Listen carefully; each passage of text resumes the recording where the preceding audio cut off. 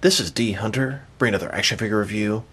Today, we're going to look at the McFarlane DC Direct Batman the Animated Series Scarecrow.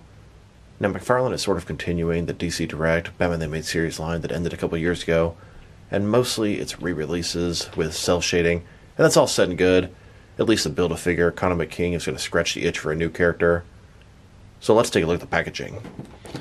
As you can see at the top, McFarlane Toys, Collector Build Condiment King, ages 12 plus, Batman the Animated Series, Scarecrow. Here he's in the package, couple alternate hands, a scythe, an unmasked head, and then part of Condiment King. One side of the package, Scarecrow, Animated Series. Other side, not much going on. On the back, here's Condiment King. Here's the rest of the wave. And at the bottom, there is his barcode, in case that helps anybody. Now, Scarecrow here is arguably the most valuable single release in the animated line. He will fetch a pretty penny on eBay. The only one's more valuable than him is going to be Alfred and Montoya. There's also a Platinum Chase variant of the Scarecrow, and I've had no luck. If anybody has an extra or has a lead on where to get one, please drop me a line in the comments below. I could really use some help there. So, no further ado, let's open them up. And I did get the entire way from Target, and it wasn't easy. The first store I went to only had one figure, the second store I went to, they only had three figures. And then a few days later, I finally found Scarecrow. I haven't found the Platinum Chase variant of Scarecrow yet. If anybody has a lead on him or has an extra one, please drop me a line in the comments below. I could really use some help there. And it turns out I was able to get a Platinum Chase Scarecrow before I did this video. That way I can do them both at once. It is my understanding that each box of six comes with two Batman, one Robin, one Mr. Freeze, and two Scarecrow, and each box has one Platinum and one regular. Of course, some guy bought them from every single store here. Big shout out to my boy Cajun Cody from Instagram for helping me get this. Much appreciated. I am still looking for another one to keep my unopened collection. So let's take a quick look. Ages 12 plus. Condiment King again. McFarlane Platinum Edition. Meets here Scarecrow. The figure is exactly the same sculpt, but different paint job. He's got brown and yellow instead of red. I wish that the Condiment King piece was different. That would have been cool. Scarecrow, Condiment King, rest of the wave.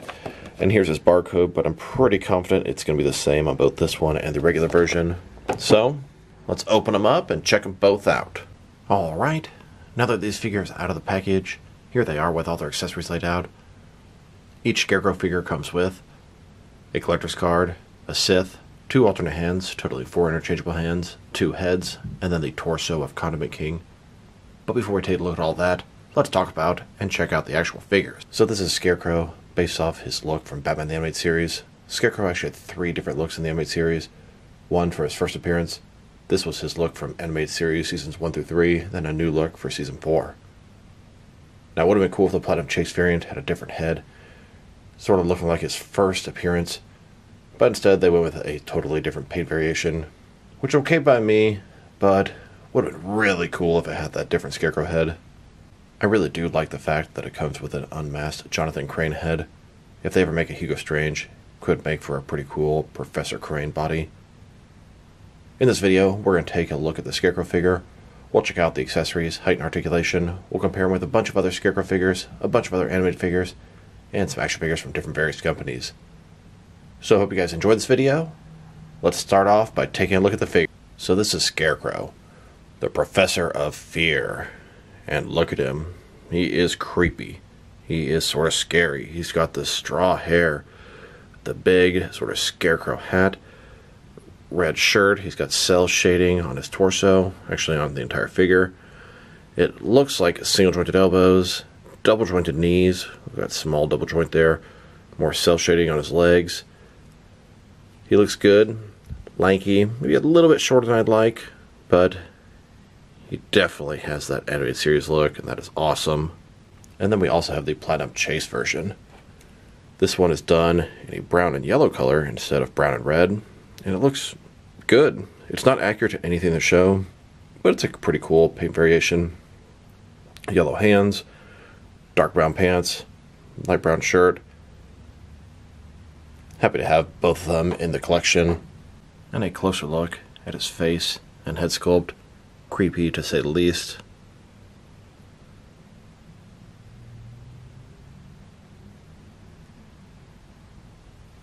And a closer look at the Platinum Chase variant of Scarecrow's face. Yellow face, red eyes, and here are the figures, broken down as far as they can go, with all of their removable parts detached. Now let's check out their accessories. Let's start with the boring stuff. Here's the Scarecrow's Collector's Card. It is the same on both the Platinum Chase and the regular version, Batman the Animated Series, Scarecrow. On the back, there is a description. If you want to read that, go ahead and pause now. Now let's look at the Condiment King's torso. The Condiment King, a very obscure and unique Batman rogue. He's got the pickle sort of thing around his head. Got some cell shading. That looks awful on his face there. Condiment King logo there. A little bit more cell shading. And if you buy all four figures in the wave, you get to create Condiment King. I could not have picked for a better character selection. Love the fact that we got a Condiment King figure. Both torsos of Condiment King are exactly the same for the regular Scarecrow and the Platinum Chase variant. Like I said before, would have been cool if something was different. Now let's look at his hands. He has a total of four of them two left hands, and two right hands. Here he is with his first pair of hands. His right hand is a gripping hand for his accessory, and his left hand is a fist. And here's his alternate pair of hands. Kind of lanky, kind of creepy. His hands are outstretched. I like these pair of hands, but they can't hold anything, so I'm going to use the other hands for him most of the time. Now for his heads. They each go with two heads the unmasked head and the masked head. Their masked heads are different, their unmasked heads are exactly the same. Here's the difference between the original head that came with a DC Direct Scarecrow from many years ago, and then the new version by McFarlane. The one on the left is the new version, a little bit of a darker skin tone, and it's got some cell shading under the eyes and under the lip. Almost looks like a little start of a goatee. Here's a look at the standard version's head. This one has the Scarecrow mask on. And here's the unmasked Jonathan Crane head. And a closer look at the Platinum Chase Variant's masked head. Here's a look at its scythe. This is the one that came with the regular version of Scarecrow. It's very long. Handle is done almost in a gray color. It's got an extra place for to hold it here. The blade is done sort of flat gray. Has some cell shading on one side.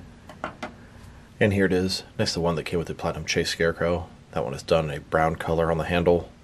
Here's Scarecrow holding that scythe. He has one gripping hand, but his open hand can help support it as well. Now I wanted to check out the differences between the DC Direct version they made a few years ago, McFarlane's re-release, and then the Platinum Chase variant. So looking at these first two, the red is a lot more vibrant on the new one. It's just sort of dull on the older one. The brown, same kind of thing. The paint job's just a lot better on this one. You can see they actually painted the buckle on the hat this time, whereas they didn't before. Beyond that, just everything, the color is a little bit better on the new one. He does have the cell shading on his leg here, not on the original. A little bit on his shirt here, nothing on the original. Both very nice releases. This original one is very expensive, but I'd say the McFarlane one is a much better paint job. And then, of course, we also have this Platinum Chase variant. And the big difference is we've got brown, red, yellow, brown, etc. Now that we've taken a pretty good look at both the figure and his accessories, now let's check out his height. From bottom to the top of his hat, standing at about 6.5 inches tall, which can translate to 16.5 centimeters. But the top of his hat is 6.5 inches tall. You know the top of his head is probably about 6.2, maybe 6.1 inches tall. Now for his articulation. Starting with his head, of course, it can rotate from side to side. The hair is going to obstruct a lot of that though. Up and down about this far. Now he does have articulation at the top of the neck and at the bottom of the neck, but you don't really get that much out of it. Shoulders on a ball joint goes out 90 degrees, up, down, around, all that good stuff. Single jointed elbow goes in a little bit more than 90 degree with rotation. His wrist can rotate and is going to be hinged. Torso is one solid piece. Got a ball joint in the waist, rotate around. That's about it. Does not go forward and back. Legs, they go out about this far, not that far. Ball joints can rotate independently against the ball. Forward, about that far, really not very much. Double jointed knees, they go all the way back. And then his ankle, forward and back, tiny bit. Rotate, And I don't really think it tilts or rocks. Here's a look at Scarecrow in a cemetery or graveyard type setting. A closer look at Scarecrow in front of the full moon. And here are all three different variations of this DC Direct Batman the Animated Series Scarecrow in the cemetery. Now let's check them out. Next to some other action figures, starting off with some other Scarecrow figures. Here they are, next to the original version of the DC Direct Batman the Animated Series Scarecrow. And here they are, next to the DC Direct, the new Batman Adventure Scarecrow. Same universe, different look. Then, next to an older Kenner Batman the Animated Series Scarecrow, we have the big one and the small one. Here they are, next to all of my McFarlane DC Multiverse Scarecrow figures. And here they are, next to all of my DC Direct and DC Collectibles Scarecrow figures. Then, next to the Mafex Dark Knight Trilogy Scarecrow. And now, with all of my Mattel Scarecrow figures, here they are, next to some older Kenner Scarecrow figures. Here are absolutely all of my Scarecrow figures. I would like to say I have all of them in the 6 and 7 inch scale, but I can think of at least a couple by DC Direct that I'm missing. Now let's check them out, next to some Scarecrow henchmen in my collection.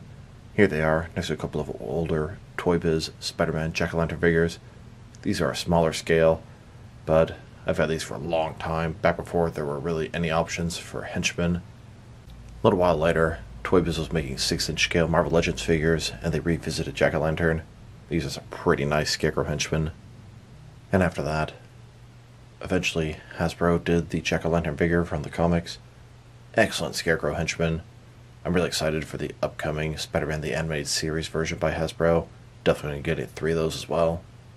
And here they are, next to a couple of Arkham Knight style Scarecrow henchmen. I also like using these Skull Trooper figures from Fortnite as Scarecrow henchmen. I have a whole bunch in both the 6 inch and the 7 inch scale. Here's an example of the Scarecrow figures next to the 7 inch version on the left and the 6 inch version on the right. The 7 inch version works perfect with your McFarlane DC Multiverse stuff, and your 6 inch version on the right works perfect with these Scarecrow figures. But since I have plenty of other Scarecrow henchmen, I have now promoted these guys, or maybe demoted these guys to Lord Deathman henchmen. Now let's check them out. Next to some other DC Direct, Batman the Animated Series figures. Here are these Scarecrow figures, next to the rest of this new wave. We have the Batman the Animated Series, Mr. Freeze, Scarecrow, Batman, a repainted Scarecrow, and then the Dick Grayson Robin. If you get all of these figures, and you don't actually have to get all of them, you can get either or Scarecrow. You get to build Condiment King. And let's not forget, there's also a Batman the Animated Series re release of the Bat Cycle in this wave. Now, these aren't the first re releases that McFarlane has done from Batman the Animated Series. The previous one they did was a four pack with Bullock, Batman, the Joker, and Harley Quinn. The Laughing Fish four pack. McFarlane's first continuation of DC Direct's Batman the Animated Series line was sort of the last wave. DC Direct was releasing figures, and there were two waves they revealed that didn't get released. McFarlane released the Catwoman, the New Adventures of Batman, and the Batman Who Laughs. There is still another wave that was never released, and I imagine McFarlane will eventually crank it out. And that one has a couple of figures that caught my attention Vampire Batman, Thomas Wayne Batman, and then Talon. Really hope those see the light of day. Here's a Scarecrow, next to the DC Direct versions of Batman, Robin, and Batgirl from Batman the Animated Series. And here they are, next to the DC Direct Bat Family from the new Batman Adventures. Same universe, new design. Here's a look at all the Batman villains, Batman the Animated Series style. These are done with DC Direct. Gonna add Condiment King to this mix. And here's a look at all the different animated villains, the new Batman Adventure style. Different style, same universe. They all look fantastic next to each other. Now let's check. Next is some action figures from different various companies, so we can see how they fit in, both scale and style wise, in case you don't know which lines you can mix them with. Since they're DC Direct, Batman the Animated Series figures, they're typically the 6 inch scale. I'm going to start off my comparisons with some of these smaller action figure lines I collect, and work way larger. Here they are, next to some Jazzwares Fortnite figures, and some SH Figuarts action figures. And here they are, next to some Hasbro Marvel Legends, and some Mafex figures. Here they are, next to a thing of grape jelly. Then, with both some Mattel and some Mezco DC figures. And now, with some Jazzwares and some Mattel wrestling figures. Here they are, next to some NECA and some DC Direct, DC Collectibles figures. Then, with some Diamond Select and some Jakks Pacific figures. And finally, here they are, next to some McFarlane DC Multiverse Batman figures. Overall, these are some pretty cool Scarecrow figures. They look really good, the likeness from Batman the Animated Series. Joints, limbs, a little bit thinner than I'd like. I do appreciate the double jointed knees. This is when DC Direct was sort of improving the figures. This was a fantastic wave. And Scarecrow is one of the most sought after DC Direct Batman the Animated Series figures, probably behind Alfred and Montoya. This guy was selling for like $330 on eBay. I'm sure this re release here is going to totally drive down the value of that figure, and that's fine by me. Let's talk about the cell shading. They did an excellent job. They didn't overdo it like they did on Batman and Robin. It's just right, very subtle. I think the colors are a little more vibrant on him than the original release. And it's really cool to have a Platinum Chase variant. This is the first one in the entire DC Direct Batman the Animated Series line, and the line is quite extensive. His articulation, it's good, not great. The accessories are fantastic. The unmasked head and the scythe, they are great. Sculpt and paint job, excellent. Face looks pretty creepy, and I like it. If I were to rate this figure, I'm going to give it a 6.5 out of 10. Teetering, probably a 7. I'm going to push up to a 7. I like it. I like the original release.